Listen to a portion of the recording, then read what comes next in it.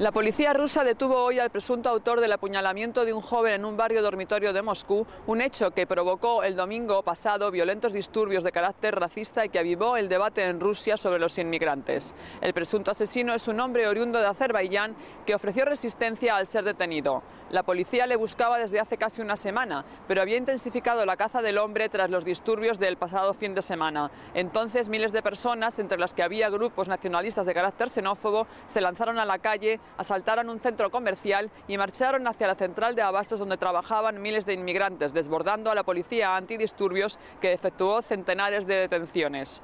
Los disturbios han puesto de manifiesto que en Moscú la tensión entre la mayoría rusa y las minorías étnicas, sobre todo procedentes del Cáucaso y de Asia Central, van en aumento.